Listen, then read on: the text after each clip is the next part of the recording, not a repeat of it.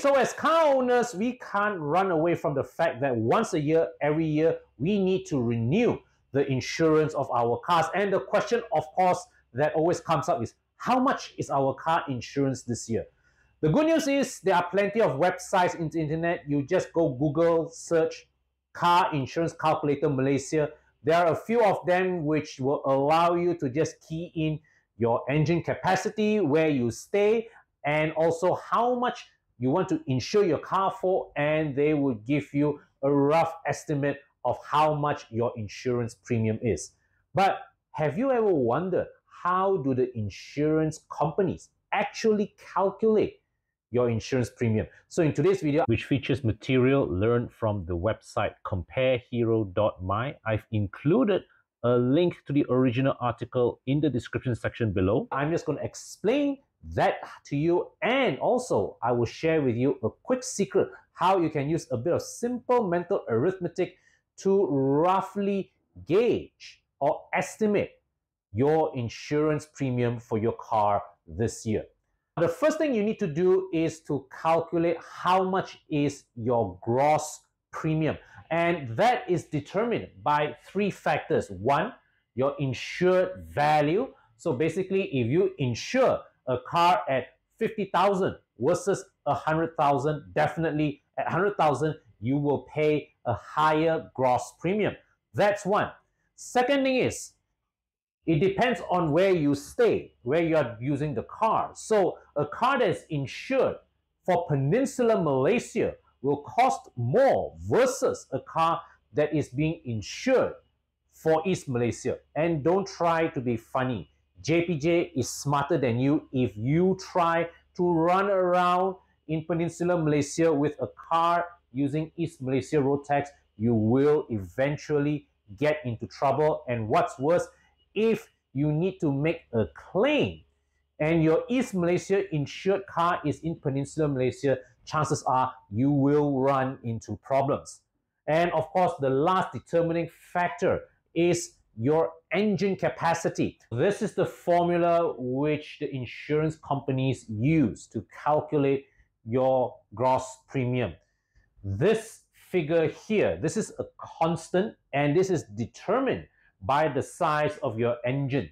So for example, if you're driving a car with a 1.5 liter engine, it starts at 305 ringgit 50 cents, whereas a 3 liter car starts at 372 ringgit and 60 cents. This is the base value determined by your engine capacity regardless of your car's insured value. Now, whatever this number is, then after that, you take your insured value minus a thousand ringgit and multiply it by 2.6%. Add this together and you arrive at your gross premium.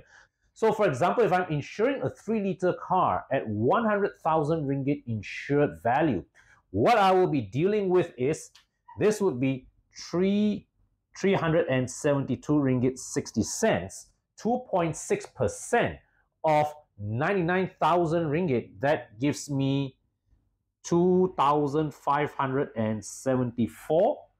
All right, and you add this together up, what you will arrive at the final figure of 2,946 ringgit and 60 cents. All right, that's it. So this is the formula for Peninsular Malaysia.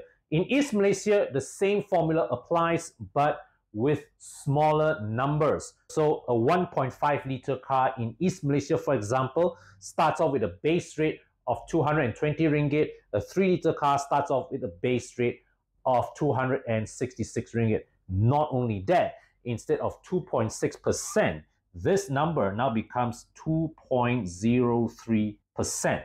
It's still this base value plus 2.3% of the insured value minus a thousand ringgit. So let's say if you're insuring now a 100,000 ringgit 3 liter car in East Malaysia, your calculation therefore will be 266 ringgit 50 cents plus 2.03% of 99,000 ringgit which is 2,000 and 9 ringgit 70 cents, right? That brings you to 2,275 ringgit, which is, well, significantly less compared to that of Peninsular Malaysia.